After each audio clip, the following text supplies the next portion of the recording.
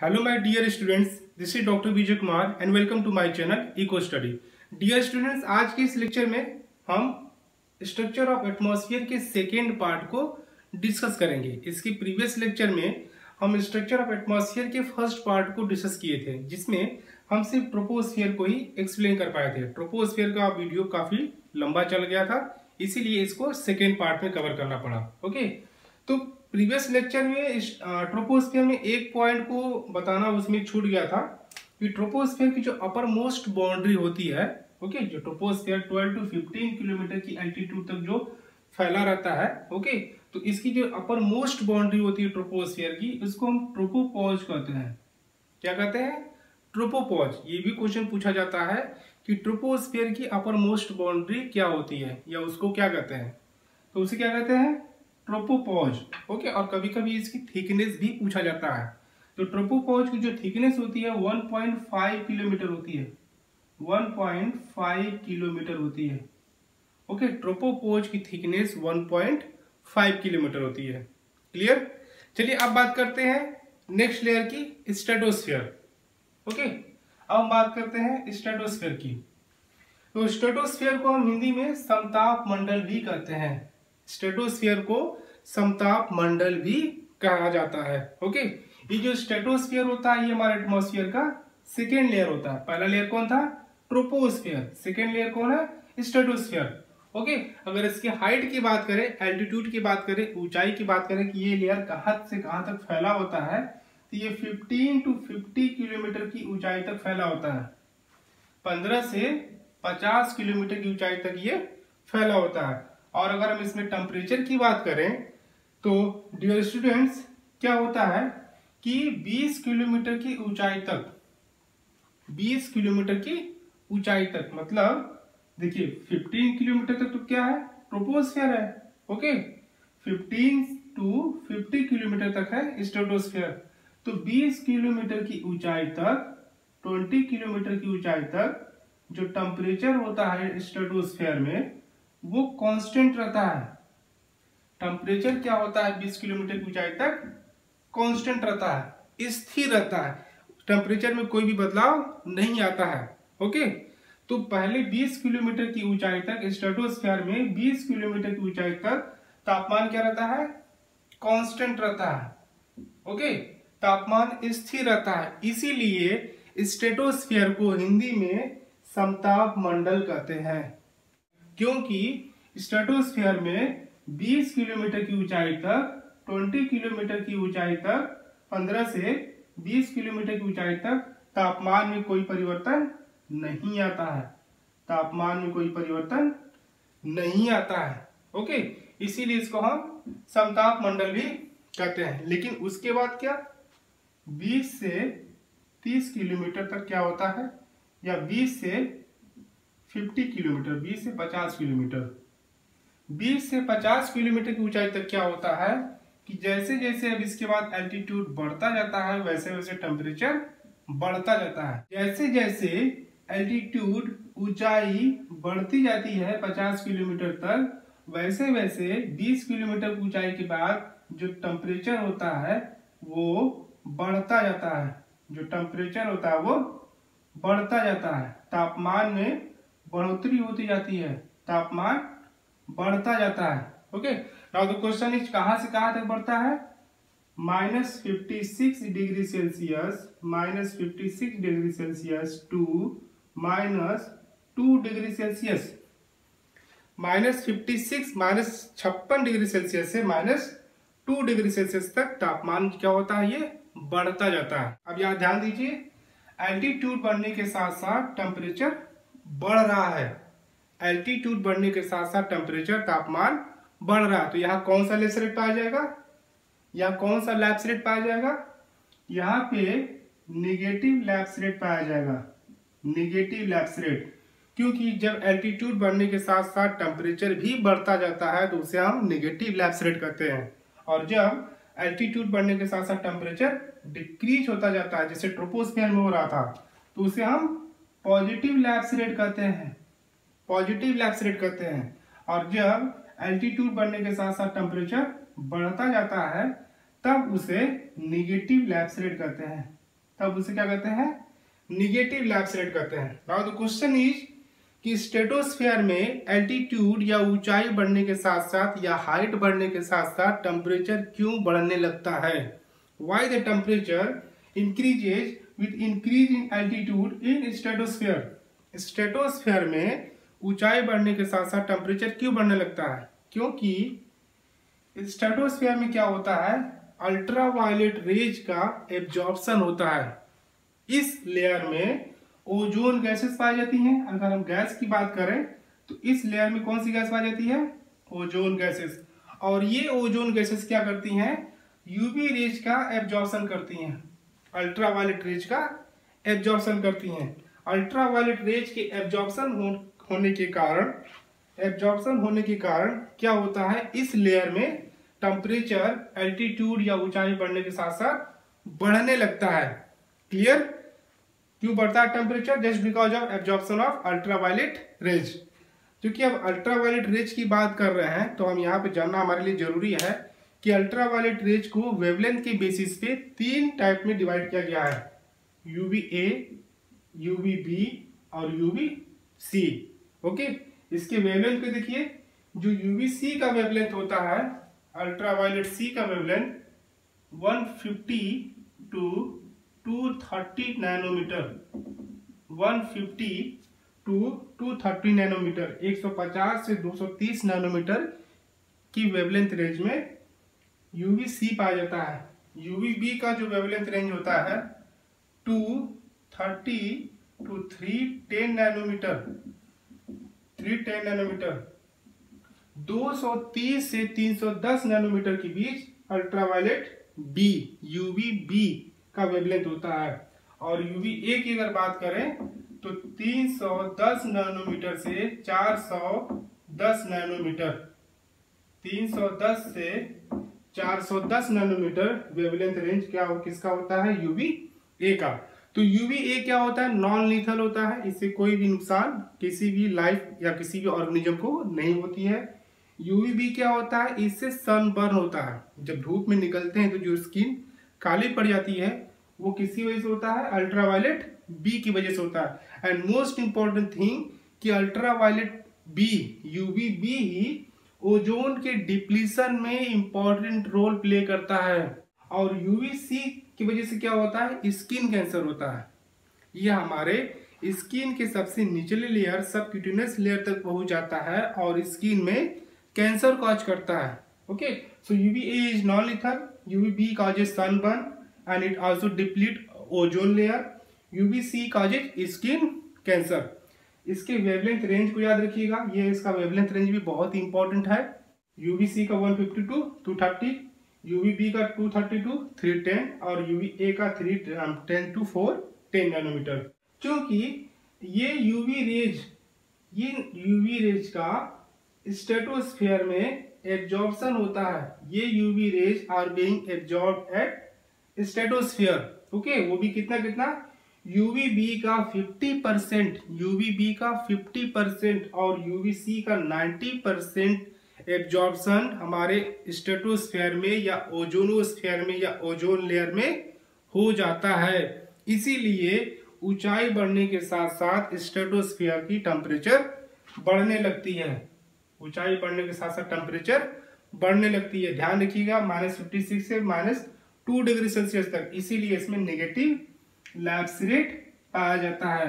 Okay temperature क्यों बढ़ा? Because of absorption of UV rays by ozone okay और ozone कहाँ है? स्टेटोस्फेयर में है। ये यूवी ए बी सी ध्यान रखिएगा। इसके प्रॉपर्टीज़ को याद रखिएगा और इसके वेवलेंथ रेंज को याद रखिएगा। ओके सो स्टेटोस्फेयर में एल्टीट्यूड बढ़ने के साथ साथ टेम्परेचर बढ़ता जाता है। यहाँ एक इंपॉर्टेंट पॉइंट और है जो आपको याद रखना है। स्टेटोस्फेयर में ऊंचाई बढ़ने के साथ साथ टेम्परेचर बढ़ रहा है। टेम्परेचर बढ़ रहा है। तो इस फिनामना को टेम्परेचर इन्वर्जन कहते हैं। इस फिनामना को टेम्परेचर इन्वर्जन कहते हैं। टेम्परेचर इन्वर्जन कहते हैं। टेम्परेचर इन्वर्जन या थर्मल इन्वर्जन कहते हैं। थर्मल इन्वर्जन कहिए। चाहे टेम्परेचर इन्वर्जन कहिए ओके चाहे थर्मल इन्वर्जन कहिए, चाहे टेम्परेचर इन्वर्जन कहिए ओके थर्मल इन्वर्जन या टेम्परेचर इन्वर्जन क्या होता है? इन्वर्जन मतलब उल्टा हो जाना। किसका उल्टा हो जाना?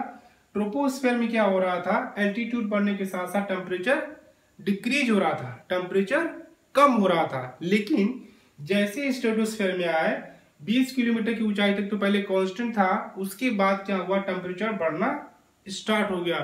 ओके टेम्परेचर बढ़ना स्टार्ट हो गया। मतलब अभी ट्रोपोस्फेयर का जस्ट उल्टा पैटर्न हो गया ना। ट्रोपोस्फेयर में टेम्परेचर घट रहा था, लेकिन स्टेटोस्फेयर में टेम्परेचर बढ़ने लगा। मतलब जो जो तापमान का या टेम्परेचर का जो पैटर्न है वो जस्ट उल्टा हो गया। ओके इसी प्रोसेस को बोलते हैं टेम्परेचर या थर्मल इन्वर्जन ओके तो स्टेटोस्फेयर में थर्मल इन्वर्जन पाया जाता है। स्टेटोस्फेयर में थर्मल इन्वर्जन पाया जाता है। एक लेयर और है जिसमें थर्मल इन्वर्जन पाया जाता है, उसके बाद बात करेंगे। अभी यहाँ तक तो याद रखिए कि स्टेटोस्फेयर में थर्मल इन्वर्जन पाया जाता है। क्लियर स्टेटोस्फेयर में अगर हम गैस की बात करें तो हम जानते हैं कि इसमें ओजोन गैस पाई जाती है। स्टेटोस्फेयर में कौन सी गैस पाई जाती है? ओजोन गैस पाई जाती है। इसीलिए स्टेटोस्फेयर को हम ओजोनोस्फियर भी कहते हैं। स्टेटोस्फेयर को ओजोनोस्फियर भी कहते हैं। अब बात आती है, इसमें एक इंपॉर्टेंट पॉइंट है ओजोनोस्फेयर को लेकर के कि जो मैक्सिमम ओजोन होती है मैक्सिमम ओजोन जो होती है, वो मैक्सिमम ओजोन जो होती है 25 किलोमीटर के एल्टीट्यूड तक ही पाई जाती है। ध्यान रखिएगा कि स्टेटोस्फेयर में जो ओजोन लेयर पाई जाती है ओजोन गैस पाई जाती है तो जो मैक्सिमम ओजोन होती है, वो सिर्फ़ 25 किलोमीटर की ऊंचाई तक ही पाई जाती है। सिर्फ़ 25 किलोमीटर की ऊंचाई तक ही पाई जाती है। 25 कहाँ तक होगा? ये 15 fifteen to thirty thirty five ये ट्वेंटी फाइव ओके तो ओजोनोस्फेयर में जो मैक्सिमम ओजोन होगी, वो कहाँ तक पाई जाएगी? ओनली 25 किलोमीटर की ऊंचाई तक ही पाई जाएगी ओके अगर हम इसमें क्लाउड की बात करें, जैसे कि ट्रोपोस्फेयर में देखे थे ट्रोपोस्फेयर में जितने भी क्लाउड होते हैं, बारिश वाले क्लाउड वो ट्रोपोस्फेयर पाए जाते हैं। बट इसके बाद जो क्लाउड पाया जाता है स्टेटोस्फेयर में, वो प्रेसिपिटेशन वाले क्लाउड नहीं होते हैं ओके और ज़रूरी बात ये यहाँ पे जानना कि कौन सा क्लाउड उसका नाम क्या है? नेक्रियस क्लाउड कौन सा क्लाउड नेक्रियस क्लाउड इस नेक्रियस क्लाउड को मदर ऑफ़ पर्ल भी कहते हैं। इस नेक्रियस क्लाउड को मदर ऑफ़ पर्ल भी कहते हैं। मैं यहाँ लिख रहा हूँ अभी। Mother of pearl. Mother of pearl. Okay? Mother of pearl. इस नेक्रियस क्लाउड को मदर ऑफ़ पर्ल क्लाउड भी कहा जाता है। ये अक्सर एग्ज़ाम में पूछा भी गया है कि which of the following cloud is also known as mother of pearl okay तो ध्यान रखिए मदर ऑफ़ पर्ल किसे कहते हैं? नेक्रियस क्लाउड को। और नेक्रियस क्लाउड कहाँ पाई जाती है? स्टेटोस्फेयर में। नेक्रियस क्लाउड कहाँ पाई जाती है? स्टेटोस्फेयर में। ये क्लाउड बारिश नहीं करती है। इस क्लाउड से वर्षा नहीं होती है। ध्यान रखिएगा। ओके ये कहाँ पाई जाती है? ये ध्यान रखिएगा। और मदर ऑफ़ पर्ल किस क्लाउड कहते हैं? नेक्रियस क्लाउड को। क्लियर इस मदर ऑफ़ पर्ल क्लाउड को या नेक्रियस क्लाउड को पोलर स्टेटोस्फेरिक क्लाउड भी कहते हैं। Polar stratospheric cloud, short form इसे P S C P S C भी कहते हैं। Polar stratospheric cloud, polar stratospheric cloud. और सबसे इंपॉर्टेंट बात यह भी है कि इस टाइप का नेक्रियस क्लाउड या पोलर स्टेटोस्फेरिक क्लाउड या मदर ऑफ़ पर्ल क्लाउड कहाँ पाई जाती है? अर्थ के किस रीजन में? ओके, इक्वेटर पे, मिड लेटीट्यूड पे या पोल पे? तो जो इस टाइप के क्लाउड होते हैं, वो पोल पे पाए जाते हैं। नॉर्थ पोल और साउथ पोल इसके बाद अगर ये आपसे पूछा जाए कि nacreous cloud mother of pearl cloud या पोलर स्टेटोस्फेरिक क्लाउड किस पोल पे ज़्यादा पाया जाता है? साउथ पोल पे या नॉर्थ पोल पे? तब इसका आंसर आपका होगा south pole okay south pole पे नेक्रियस क्लाउड ज़्यादा पाया जाता है, ज़्यादा इसका फॉर्मेशन होता है साउथ पोल पे। क्यों? क्योंकि नक्रियस क्लाउड की फॉर्मेशन के लिए जो टेम्परेचर की रिक्वायरमेंट होती है, वो मिनिमम टेम्परेचर होता है minus seventy eight degree Celsius क्योंकि साउथ पोल पे टेम्परेचर जो होता है minus seventy eight degree Celsius से भी कम पाया जाता है। इसीलिए इस नेक्रियस क्लाउड का या पोलर स्टोटोस्फेरिक क्लाउड का या मदर ऑफ़ पर्ल का फॉर्मेशन साउथ पोल पे ज़्यादा होता है। साउथ पोल पे ज़्यादा होता है। मतलब कि अंटार्कटिका पे इस नेक्रियस क्लाउड या पोलर स्टोटोस्फेरिक क्लाउड का फॉर्मेशन ज़्यादा होता है। क्यों? जस्ट बिकॉज़ ऑफ़ टेम्परेचर यहाँ पे minus eighty eight degree Celsius से भी कम पाया जाता है। क्लियर? आप बात करते हैं इसके रोल की। ये क्या रोल प्ले करता है? सो so, ये बहुत इंपॉर्टेंट है। इसको जरा ध्यान से समझिएगा।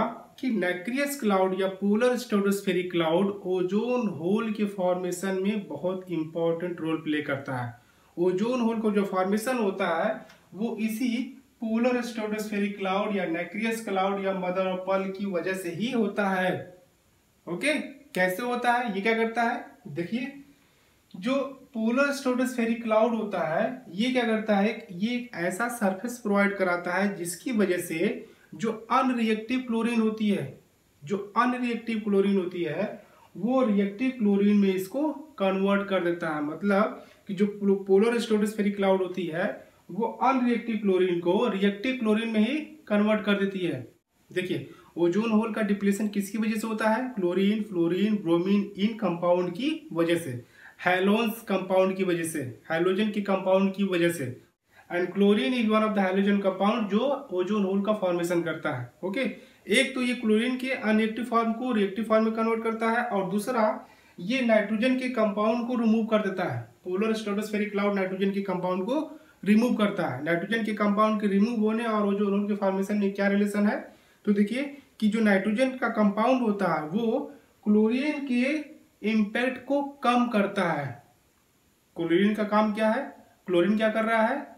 ये ओजोन और का फॉर्मेशन कर रहा है। तो नाइट्रोजन के कंपाउंड इस क्लोरीन के कंपाउंड को ये मॉडरेट करते हैं, रोकते हैं। देखिए पोलर स्टेटोस्फेरिक क्लाउड दो तरह से ओजोन होल के फॉर्मेशन में इंपॉर्टेंट रोल प्ले कर रहा है। एक तो ये क्लोरीन के अनरिएक्टिव फॉर्म को रिएक्टिव फॉर्म में कन्वर्ट कर दे रहा है और दूसरा, ये नाइट्रोजन के कंपाउंड को रिमूव कर दे रहा है। ऐसे कंपाउंड जो क्लोरीन की एक्टिविटी को रोकते थे मॉडरेट करते थे, उसको कंट्रोल करते थे, इसके इम्पैक्ट को कंट्रोल करते थे, ताकि ये ओजोन का फॉर्मेशन न कर सके। ओके तो एक तो जो रोक रहे थे इनको, उनको रिमूव कर दिया पोलर स्ट्रेटोस्फेरिक क्लाउड और जो कर रहे हैं, उनके एक्टिविटी को बढ़ा दे रहा है। Okay so polar stratospheric cloud क्या करता है कि ओजोन होल की फॉर्मेशन में इंपॉर्टेंट रोल प्ले करता है। ओके मैक्सिमम ओजोन 25 किलोमीटर की ऊंचाई तक पाई जाती है। ओजोनोस्फीयर क्योंकि ओजोन स्लेयर पाई जाती है, इसलिए इसको ओजोनोस्फीयर कहते हैं और जो मैक्सिमम ओजोन होती है वो 25 किलोमीटर की एल्टीट्यूड ऊंचाई तक ही पाई जाती है ओके और स्टेटोस्फीयर की अपर मोस्ट बाउंड्री जो सबसे ऊपर की बाउंड्री होती है, उसको बोलते हैं स्टेटोपोज उसको बोलते हैं stratopause okay stratopause is the upper most boundary of stratosphere clear या ऐसे भी कह सकते हैं कि मीजोस्फीयर और स्टेटोस्फीयर की जो बीच की बाउंड्री होती है, उसको हम स्टेटोपोज कहते हैं। लाइक वाइज ठीक उसी तरह स्टेटोस्फीयर और ट्रोपोस्फीयर की बीच की जो बाउंड्री होती है, उसको हम ट्रोपोपॉज कहते हैं। क्लियर तो इस तरह हमने देखा कि कैसे polar stratospheric cloud ozone hole के फॉर्मेशन में इंपॉर्टेंट रोल प्ले करती है।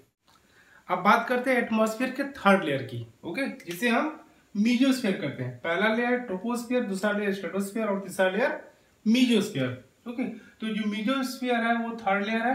अगर इसके हाइट की बात करें एल्टीट्यूड की बात करें, ऊंचाई की बात करें कि ये कहाँ तक फैला है तो ये जो है 50 टू 80 किलोमीटर 50 से 80 किलोमीटर ओके 50 टू 80 किलोमीटर की ऊंचाई तक ये फैला हुआ है ओके अगर हम इसमें टेम्परेचर की बात करें तो टेम्परेचर क्या होता है कि मीजोस्फेयर में जैसे जैसे एल्टीट्यूड बढ़ता जाता है मीजोस्फेयर में जैसे जैसे एल्टीट्यूड बढ़ता जाता है वैसे वैसे क्या होता है? टेम्परेचर डिक्रीज होता जाता है। मीजोस्फेयर में जैसे जैसे एल्टीट्यूड ऊंचाई बढ़ती जाती है, वैसे वैसे टेम्परेचर डिक्रीज होता जाता है। ओके इंपॉर्टेंट पॉइंट यहाँ आपके लिए क्या है? कहाँ से कहाँ तक? So minus 2 degree Celsius to minus 90 two degree Celsius minus two degree Celsius से minus ninety two degree Celsius तक टेम्परेचर डिक्रीज हो जाता है ओके तो जब एल्टीट्यूड बढ़ने के साथ साथ टेम्परेचर घटता जाता है तो उसको हम पॉजिटिव लैप्स रेट कहते हैं। उसको हम पॉजिटिव लैप्स रेट कहते हैं okay one more important point mesosphere is having lowest atmospheric temperature mesosphere में सबसे मिनिमम सबसे लोवेस्ट टेम्परेचर पाया जाता है minus ninety two degree Celsius okay तो ये भी क्वेश्चन पूछा जाता है कि किस लेयर में सबसे मिनिमम टेम्परेचर पाया जाता है? तो मीजोस्फेयर में सबसे कम टेम्परेचर मीजोस्फेयर में पाया जाता है minus ninety two degree Celsius okay इसमें सबसे लोवेस्ट टेम्परेचर पाया जाता है।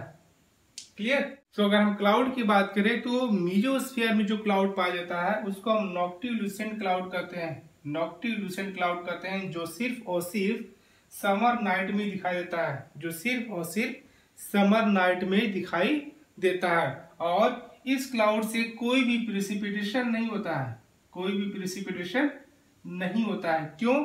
क्योंकि ये क्लाउड मेटियोरिक डस्ट पार्टिकल से बना होता है। मेटियोरिक डस्ट पार्टिकल से बना होता है, जो उल्का पिंड होते हैं, उनके जो धूल कण आपस में रगड़ से जो धूल कण जो क्रिएट होते हैं डस्ट पार्टिकल जो बनते हैं, उन डस्ट पार्टिकल से इस नॉक्टिल्यूसेंट क्लाउड का फॉर्मेशन होता है। क्लियर तो मियोस्फेयर में जो याद रखने वाली बात है, जो इंपॉर्टेंट पॉइंट है, वो क्या है?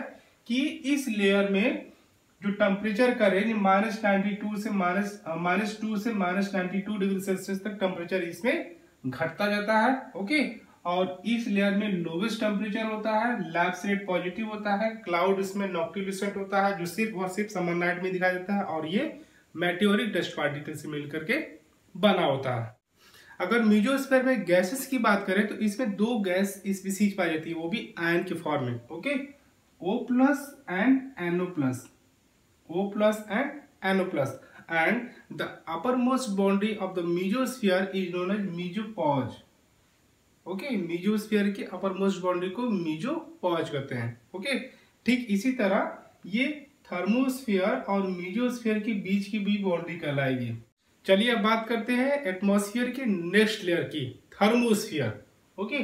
Thermosphere the fourth layer of the atmosphere this is the fourth layer of our atmosphere अगर इसके हाइट की बात करें तो ये 80 किलोमीटर से लेकर के 480 से 400 किलोमीटर की ऊंचाई तक ये फैला रहता है। और अगर हम इसमें टेम्परेचर की बात करें थर्मोस्फियर में टेम्परेचर की बात करें टेम्परेचर के पैटर्न की बात करें तो थर्मोस्फेयर में क्या होता है कि एल्टीट्यूड बढ़ने के साथ साथ टेम्परेचर जो है एक्सपोनेंशियली ऐसे फिर बढ़ता जाता है। टेम्परेचर बढ़ता जाता है। कहाँ से कहाँ तक बढ़ता है?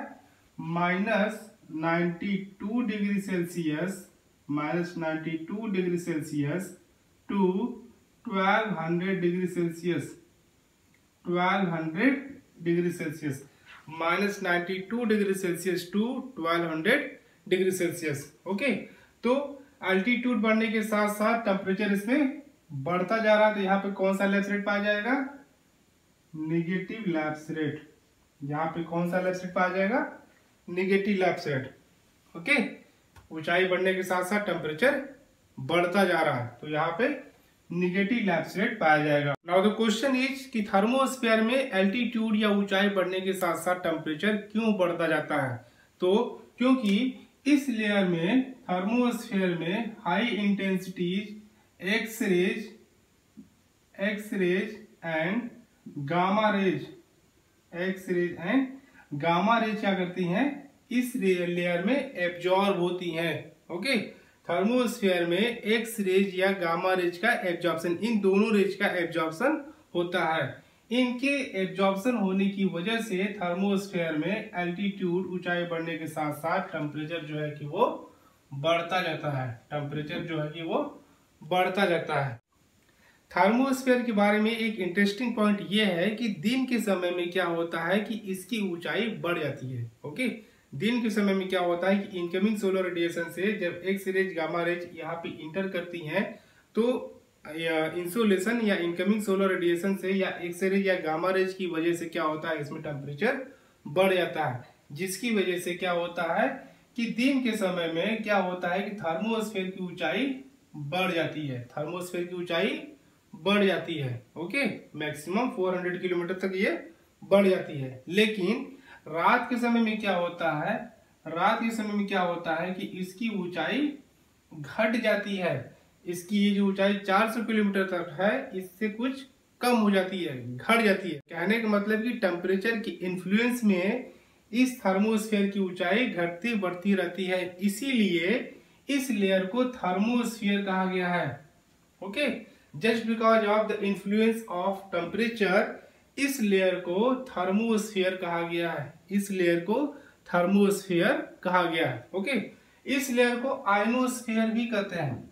इस लेयर को आयनोस्फियर भी कहते हैं, क्योंकि हाई इंटेंसिटी एक्स रे और गामा रेज इन दोनों रेज की इंटेंसिटी बहुत ज़्यादा होती है, ओके? तो एक्स रेज और गामा रेज के इतने ज़्यादा हाई इंटेंसिटी वाले रेज के इंटर करने के बाद यहाँ की जो गैसेस होती हैं, वो आयन के फॉर्म में कन्वर्ट हो। जाती हैं O plus O two plus NO plus यहाँ की जो गैसेस होती हैं, वो आयन के फॉर्म में कन्वर्ट हो जाती हैं। इसीलिए इस लेयर को आयनोस्फीयर भी कहते हैं। इसीलिए इस लेयर को थर्मोस्फीयर को आयनोस्फीयर भी कहते हैं। आयनोस्फीयर भी कहते हैं। गैसेस आयन के फॉर्म में प्रेजेंट होती हैं। क्यों? क्योंकि हाई इंटेंसिटी वाले एक्स रे और गामा रेज यहाँ पे एब्जॉर्ब होती हैं ओके इतने ज़्यादा इंटेंसिटी वाले रेज के आने के बाद यहाँ की जो गैसेस होती हैं वो आयन के फॉर्म में कन्वर्ट हो जाती हैं ओके इसीलिए इस लेयर को आयनोस्फियर भी कहते हैं। और इसमें अगर गैसेस की बात करें तो यहाँ पे जो गैसेस होती हैं, यहाँ पे गैसेस की तीन स्पीसीज पाई जाती हैं। कौन कौन O plus O two plus और एनओ प्लस ध्यान दीजिएगा मीजोस्फियर में सिर्फ़ O प्लस और NO प्लस था O2 प्लस नहीं था ओके और थर्मोस्फियर में O प्लस O2 प्लस और NO प्लस ये तीन स्पीसीज हैं। ये बहुत ही इंपॉर्टेंट क्वेश्चन हो सकता है, क्योंकि कई बार पूछा भी जा चुका है कि थर्मोस्फियर में निम्नलिखित में से कौन सी स्पीसीज नहीं पाई जाती है? कौन सी गैस की स्पीसीज नहीं पाई जाती है? तो थर्मोस्फियर में तीन स्पीसीज ध्यान रखिए O plus O two plus NO plus और मीजोस्फियर में only O plus and NO plus तो अब बात करते हैं थर्मोस्फेयर के इंपॉर्टेंस की। थर्मोस्फेयर क्या होता है? ये रेडियो कम्युनिकेशन में यूज़ होता है। रेडियो कम्युनिकेशन में ये हेल्प करता है। होता क्या है कि जब रेडियो स्टेशन से अर्थ पे जो रेडियो स्टेशन है, वहाँ पे जो साउंड वेव या लॉन्ग वेवलेंथ वाली रेडियो वेव जब भी भेजी जाती हैं तो आइनोस्फेयर या थर्मोस्फेयर से उन लॉन्ग वेव वाली जो रेडियो वेव को वो रिफ्लेक्ट कर देता है। ओके, जो ग्राउंड स्टेशन पे जो रिसीवर होते हैं, उनके द्वारा वो रिसीव किया जाता है और इस तरह से रेडियो का कम्युनिकेशन काम करता है। अगर थर्मोस्फेयर को एटमॉस्फेयर से हटा दिया जाए, तब क्या होगा? तब जो भी लॉन्ग वेवलेंथ वाली रेडियो वेव या साउंड वेव ऊपर भेजी जाएँगी, वो रिफ्लेक्ट होकर वापस नहीं आ पाएँगी। वो कहा चली जाएँगी? वो स्पेस में चली जाएँगी। वो स्पेस में चली जाएँगी। ओके?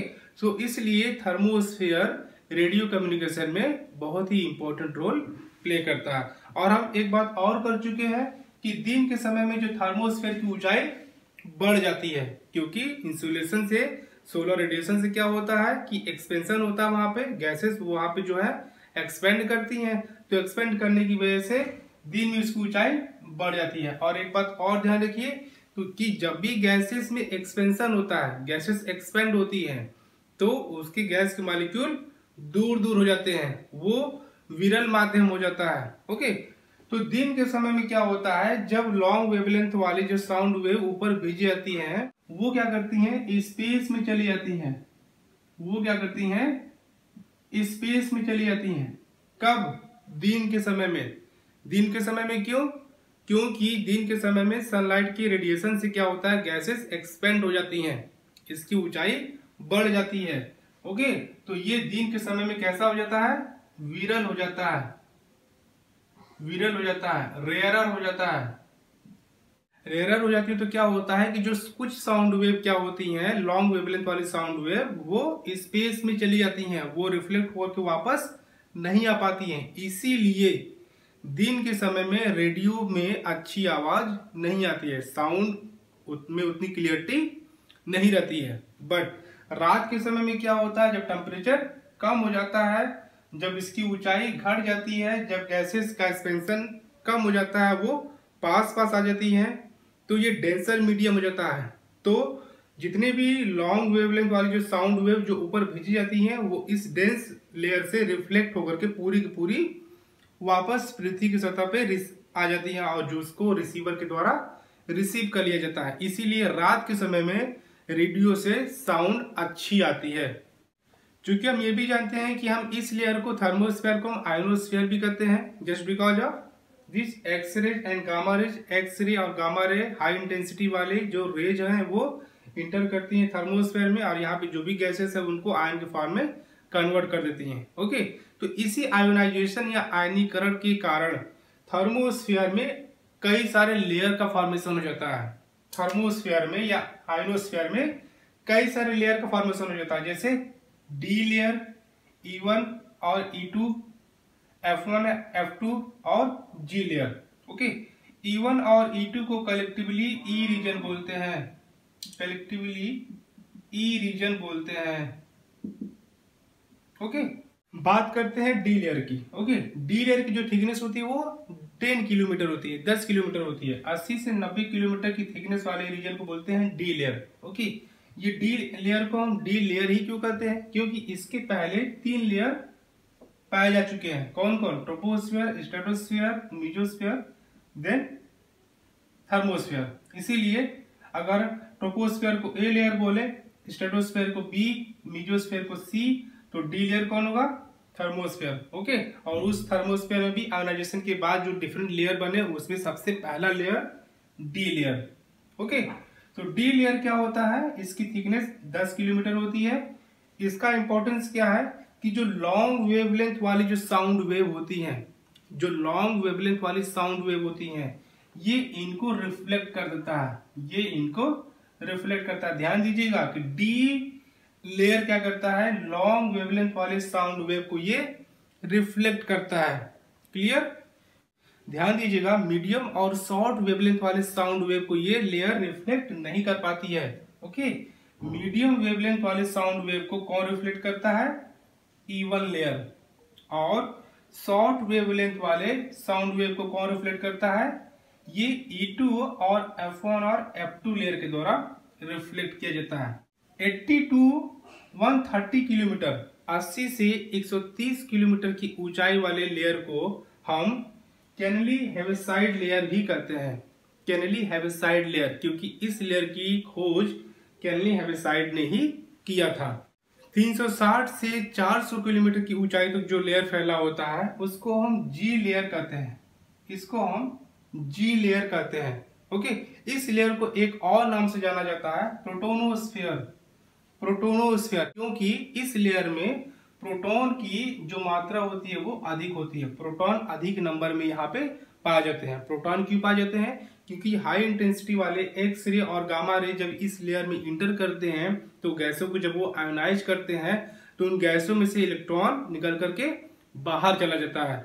ओके तो उस गैस मालिक्यूल में जब इलेक्ट्रॉन बाहर निकल जाता है तो उस समय उसमें प्रोटॉन की जो नंबर होता है वो अधिक हो जाता है। ओके तो इसलिए इस लेयर को जी लेयर को प्रोटोनोस्फियर के नाम से भी जाना जाता है ओके इस लेयर में प्रोटॉन की मात्रा अधिक होने के कारण जब एक्स रेज और गामा रेज इस लेयर में इंटर करते हैं और जब ये प्रोटॉन से टकराते हैं तो टकराने के बाद एक लाइट प्रोड्यूस करते हैं। तो टकराने के बाद ये क्या करते हैं ये? लाइट प्रोड्यूस करते हैं ओके जब भी एक्सरे और गामा रे। जब एक्स रे और गामा रे इस प्रोटोनोस्फेयर के प्रोटॉन से टकराते हैं तो टकराने के बाद क्या करते हैं? एक लाइट प्रोड्यूस करते हैं। टकराने के बाद एक लाइट प्रोड्यूस करते हैं। उस लाइट को बोलते हैं अरोरा उस लाइट को बोलते हैं अरोरा अरोरा एक स्पेशल टाइप की लाइट है, जो एक्स रेज और गामा रेज के प्रोटॉन से स्ट्राइक या टकराने के बाद प्रोड्यूस होती है, ओके? इस तरह की जो फिनोमिना होती है, ये सिर्फ़ पोल पे ही दिखी जाती है। सिर्फ़ पोल पे ही दिखी जाती है। नॉर्थ पोल और साउथ पोल जब इस अरोरा का फॉर्मेशन नॉर्थ पोल पे होता है तो उसको बोलते हैं अरोरा बोरियालिस अरोरा बोरियालिस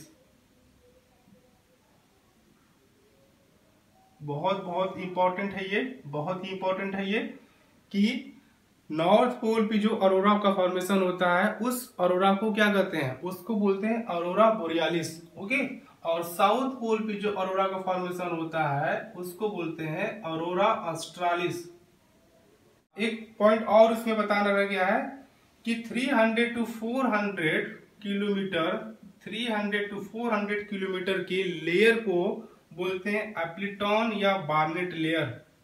एप्लीटॉन या बार्नेट लेयर। 300 टू 400 किलोमीटर के लेयर को जिन्होंने डिस्कवर किया था, उनके नाम पे इस लेयर को एप्लीटॉन या बार्नेट लेयर के नाम से भी जाना जाता है। अब बात करते हैं एटमॉस्फेयर के सबसे लास्ट लेयर, इग्जोस्फेयर की। Exosphere is the outer most layer of our atmosphere. Okay? This is outer most layer of our atmosphere ये हमारे एटमोसफियर का सबसे बाहरी लेयर होता है। इसकी जो थिकनेस होती है या इसकी जो ऊंचाई होती है, वो 400 से 1000 किलोमीटर की ऊंचाई तक पाया जाता है। मतलब कि 1000 किलोमीटर के ऊपर कोई भी एटमॉस्फेयर नहीं पाया जाता है। इग्जोस्फेयर की अगर इंपॉर्टेंस की बात करें तो इग्जोस्फेयर में पोलर सैटेलाइट लॉन्च किए जाते हैं। इग्जोस्फेयर में पोलर सैटेलाइट लॉन्च किए जाते हैं। पोलर सैटेलाइट लॉन्च किए जाते हैं। आईआरएस जिसको हम आईआरएस कहते हैं। सो माय डियर स्टूडेंट्स ये रहा हमारे एटमोसफियर का स्ट्रक्चर डिटेल्ड स्ट्रक्चर अगर आपको इसमें कुछ क्वेरी हो, कोई अगर कुछ बात समझ में ना आया हो so please you can contact me description box में मेरा कॉन्टेक्ट नंबर है, जो व्हाट्सएप नंबर भी है, या आप मुझसे कमेंट करके भी वीडियो पे आप पूछ सकते हैं। ओके सो डियर स्टूडेंट्स अगर आपको मेरा ये लेक्चर पसंद आया हो सो प्लीज़ लाइक कमेंट और शेयर करना मत भूलिएगा। Thank you so much